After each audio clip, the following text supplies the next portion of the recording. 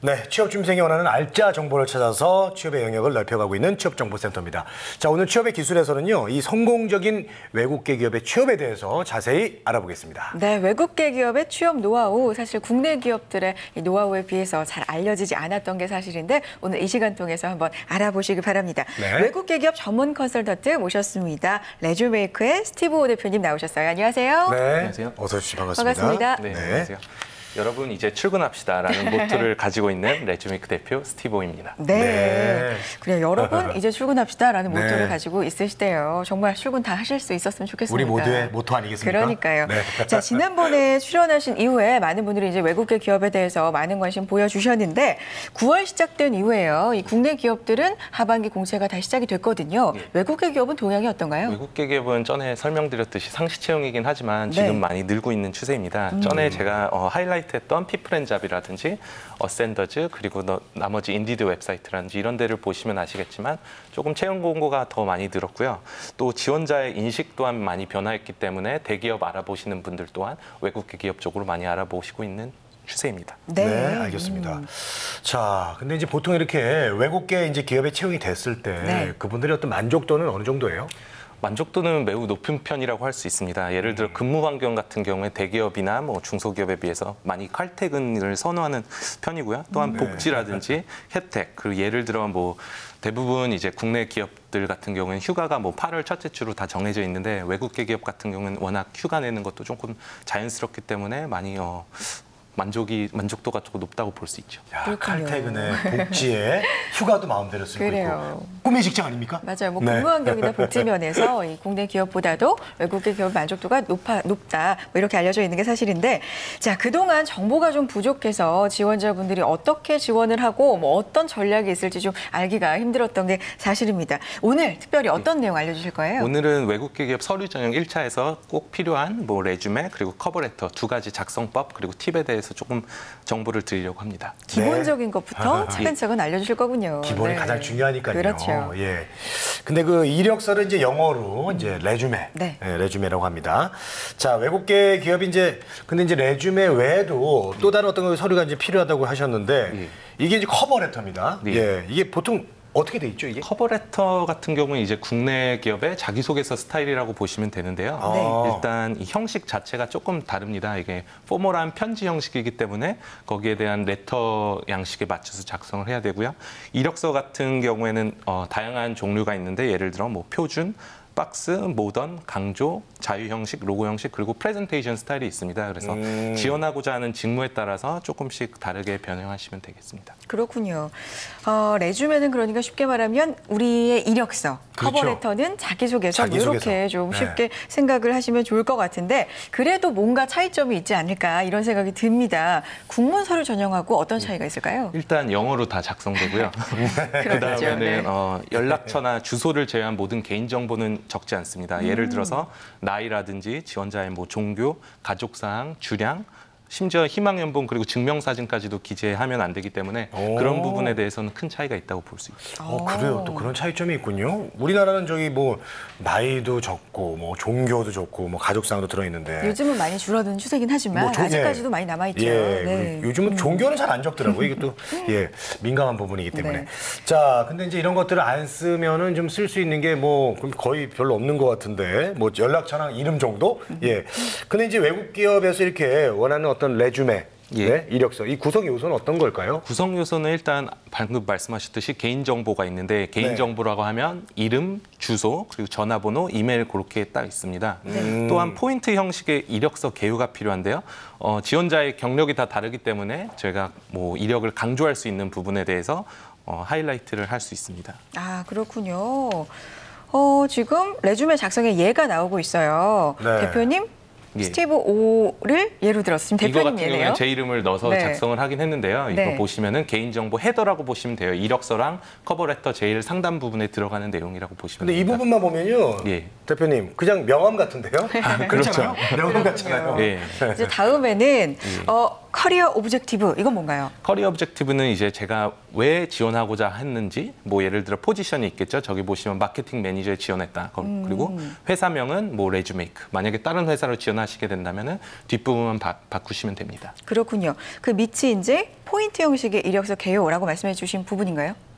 이 부분 같은 경우에는 예, 하이라이트인데 네. 저기서는 이제 포인트가 하나 들어갔어요. 원래는 아. 보통 8개에서 10개 정도 넣거든요. 그래서 아. 저기 보시면은 3년 이상 경력의 디지털 마케팅 경력이 있다. 그리고 음. 그 분야는 IT 분야, 모바일 분야, 온라인 마케팅 분야다. 이런 식으로 해서 지원자의 최대한 강점을 포인트 형식으로 8개에서 10개 정도 나누시는 게 좋습니다. 포인트 경력. 그러니까 그래요. 자격 경력을 예. 포인트 경력 위주로 이렇게 예. 작성을 하는데 지금 예로는 한 줄만 넣었지만 보통은 뭐 일곱 여덟 줄 있는 대로 다 넣는 편이군요. 예, 네. 그렇군요.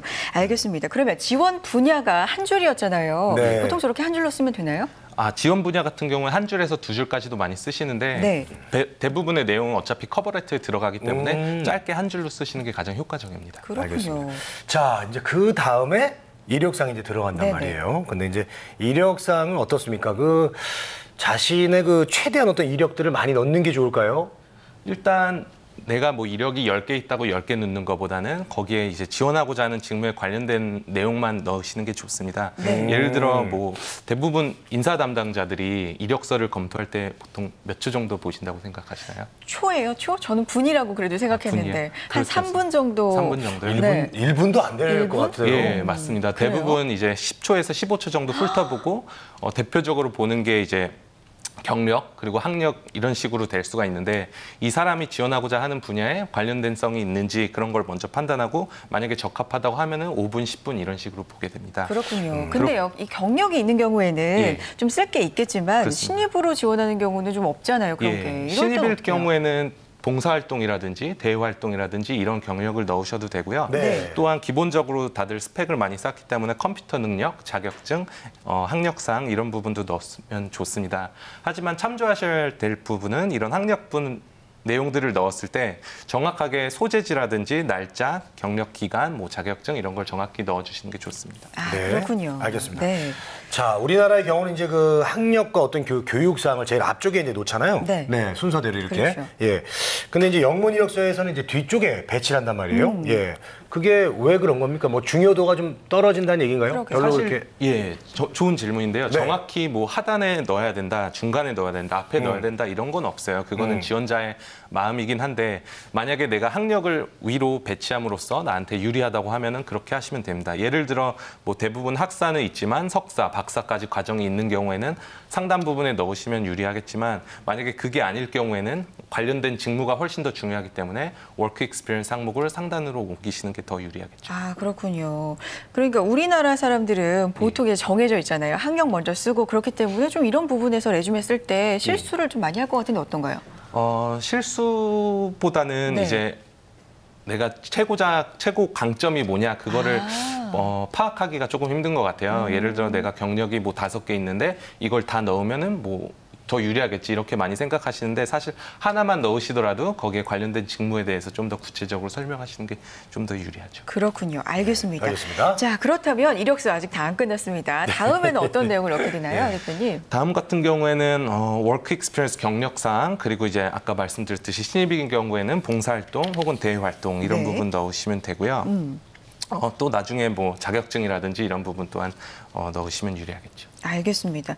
어, 아까도 말씀해 주셨지만 재학생의 경우에는 아직까지 학교를 다니고 있는 학생의 경우에는 경력 사항이 별로 없는 경우가 있기 때문에 많기 그렇죠. 때문에 네. 봉사 활동을 적는 게 좀 중요할 것 같습니다. 실수하지 않는 방법을 좀 정리해 주셨으면 좋겠어요. 대부분 어, 봉사 활동 같은 경우에는 이제 과소 평가를 많이 해요. 음. 어, 내가 단순히 뭐 대학교에서 대외 활동으로 토론 클럽에서 봉사를 했다.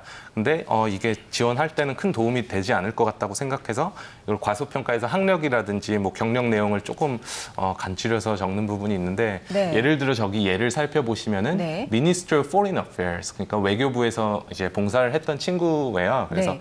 저기 경력 기술서 경력이 없기 때문에 대외 활동을 저런 식으로 넣었는데 아. 밑에 보시면은 단순히 내가 뭐 SNS라든지 홍보를 했다. SNS 서포터즈로서 네. 이렇게 경력을 적는 것보다는 travel safety information 그러니까 뭐 해외 안전 수칙에 대해서 내가 뭐 리서치를 했고 네, 거기에 대해서 했네요. 예 프로모션을 했다고 네. 정확히 구체적으로 적게 음. 되면은 채용 담당자들이 봤을 때는 음. 아 이 친구가 단순히 봉사는 하, 하- 했지만 거기에 대해서 이제 관련된 직무가 있다라고 판단하기 때문에 구체적으로 정확히 적으시는 게 아무래도 유리합니다. 그러니까 포장- 봉사 활동에서도 구체적으로 어떤 걸 했는지 적어야 되는군요. 그렇죠. 오, 네, 그리고 가- 네. 단순 업무도 좀 포장을 할 줄 알아야 될 것 같아요. 예.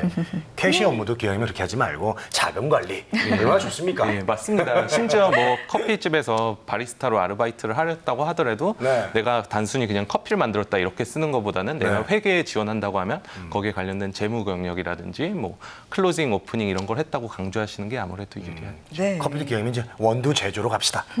자 이렇게 이제 이력서 구성 요소를 알아봤습니다. 자 이번 에는 그 우리나라의 자기소개서에 해당하는 커버레터로 가보겠습니다. 커버레터 어떻게 구성되어 있죠? 커버레터는 일단 항목이 아까 제가 말씀드린 헤더 내용이 있습니다. 네. 그래서 헤더 내용 아까 개인정보, 이름, 주소 그리고 이메일, 연락처 있고요.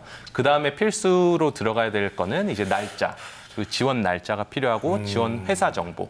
예를 들어 여기 보시면은 구글 코리아에 지원하셨고 또 단순히 내가 그냥 구글에 지원한다보다는 거기에 관련된 이제 해당 부서가 있겠죠. 그래서 인사 부서라고 human resource department라고 명시를 하셔야 되고요. 네. 또한 이 cover letter에 타이틀이 있어야 됩니다. 이게 편지 아. 형식이기 때문에 단순히 어떤 편지인지 그래서 RE라고 써진 걸 보시면은 그 저게 regards예요. 그래서 이게 어떤 포지션이었냐면 New Business Sales Account Executive 포지션이기 때문에 거기에 대한 타이틀을 적으시는 게 유리하고요.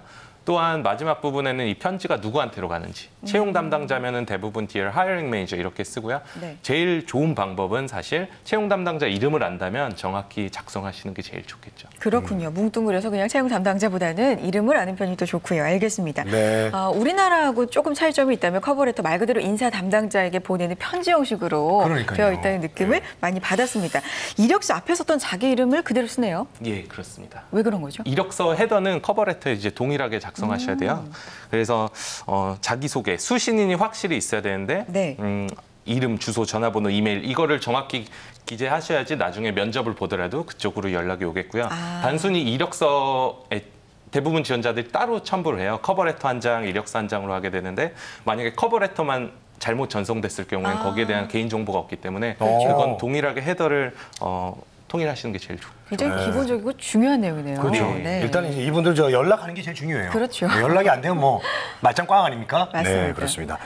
자, 형식적인 요소를 빼고는 이제 서론, 본론, 결론 이렇게 세 부분으로 나누어져 있습니다. 네. 자, 이 부분별로 좀꼭 꼭 써야 되는 거 어떤 게 있을까요? 예, 일단 서론, 서론. 그리고 본론, 본론. 결론 그리고 네. 마무리 이렇게 총 네 가지로 구성되어 있는데요. 네. 네. 서론 인트로 부분에 대해서 간략하게 설명을 해드리겠습니다. 네. 일단 이 커버레터 항목은 아까 말씀드렸던 구글의 New Business Sales Account 포지션인데요. 어, 여기에 들어간 내용을 간략하게 말씀드리면 지원 포지션을 언급하셔야 되고요. 또 내가 어떤 식으로 지원을 했는지 지원 경로 그리고 경력 요약 그리고 입사 후 뭐 동기 포부 이런 거를 작성합니다. 예를 들어 I'm pleased to apply for the new business sales account executive position as listed on Google Career website. 이러면은 이 포지션을 내가 구글 채용 사이트에서 찾아가지고 지원하게 됐다 이 말이고 나는 3년 경력에 3년 정도의 뭐 세일즈 그리고 마케팅 경력이 있다. 네. 그 분야는 IT 이런 쪽이다. 그래서 뭐 여기 보시다시피 삼성 그리고 LG와의 뭐 파트너십도 맺은 내용도 있고 그래서 네. 처음 intro에는 이런 식으로 짧고 굵게 강조하시는 게 본론으로 가볼까요? 예, 본론을 보시면은 이제 경력 위주의 프로젝트 업무 성과입니다. 그래서 내가 여기 회사명이라고 나온 부분에는 이제 일했던 회사명을 언급하시면 되고요. 전에요. 예, 네. sales specialist로 일하면서 뭐 나는 develop on my 해외 영업 이라든지 그런 포트폴리오를 관리하고 IT 관련 분야에 이제 납품하는 내용을 했다 이렇게 기재를 하였습니다. 네. 그리고 마지막 부분 보시면은 아, 결론 같은 경우에는 네. 어, 이력서를 검토해서 일단 채용 담당자님한테 감사드리고 또한 면접 스케줄 관련해서 어, 여기 보시면은 Thank you for considering me as a candidate and taking time to read my application. 그러니까 경력 이력서 검토 감사드리고 Please contact me to set up an appointment to meet. 이 내용은 이제 이력서를 검토하고 내가 적합하다고 생각하면은 면접 그 제의를 달라고 연락한 음. 말입니다. 그리고 마지막에 sincerely 하고 꼭 이름을 적으셔야 되고요. 중요한 내용이죠. 음, 또 여기서 한 가지 말씀드리면은 저 sincerely 밑에다가 끝맺음이기 때문에 꼭 전자 서명을 하셔야 돼요. 만약에 사인을 오. 안 하시게 되면은 그거는 뭐 적합한 서류라고 판단되지 않을 수 있기 때문에 어, 워드 같은 경우에는 이제 선으로 그리실 수도 있지만 뭐 네. 종이에다가 프린트를 하셔서 사인하시고 뭐 스캔해서 보내셔도 그래요. 됩니다. 전자 서명 잊지 마시고요. 외국 네. 이력서나 하여튼 저기 연락처랑 서명 네. 요거 중요해, 중요합니다. 자 주의 사항으로 이제 넘어가 보도록 하겠습니다. 네. 한글 서류 전형만 썼던 사람들은 이런 편지 형식이 좀 어색하고 뭔가 좀 어려울 것 같습니다. 주의 사항은 있습니까? 예, 이력서 경력 기술서 내용에 네. 일 1인칭 주어 I, 내가 했다는 거는 피하시는 게 좋습니다. 아. 저번에도 설명드렸듯이 뭐 동사로 쓰셔가지고 내가 manage를 했다든지 아니면 direct를 했다, develop 했다 이런 식으로 어, 동사를 선택하시는 게 제일 좋고요. 두 번째는 채용 공고 내용 지원 직무 키워드를 확인하셔야 돼요. 거기에 맞춰서 일대일로 작성을 하셔야 되고요. 또 경력상은 이제 본인이 맡았던 업무 내용, 그 팀의 내용보다는 내가 했던 역할, 프로젝트 그리고 성과 위주로 어, 수치로 환산하셔도 돼요. 뭐 분기별 내가 뭐 세일즈 영업을 늘렸다 이렇게 말하는 것보다는 영업을 분기별 뭐 200% 상승시켰다 이런 식으로 하시고 제일 중요한 거는 이게 영문이기 때문에 국문도 마찬가지지만 스펠링을 음. 꼭 체크하셔야 돼요. 예를 들어 인사 담당자 이름을 스펠링을 잘못 썼다거나 이러면은 조금 힘들 수도 있으니까. 그렇죠. 예. 알겠습니다. 알겠습니다. 자, 오늘은요, 외국계 기업 채용을 위한 résumé cover letter 작성법 자세하게 알아봤습니다. 레주메이커의 스티브 오 대표님과 함께 했습니다. 고맙습니다. 네, 감사합니다. 고맙습니다.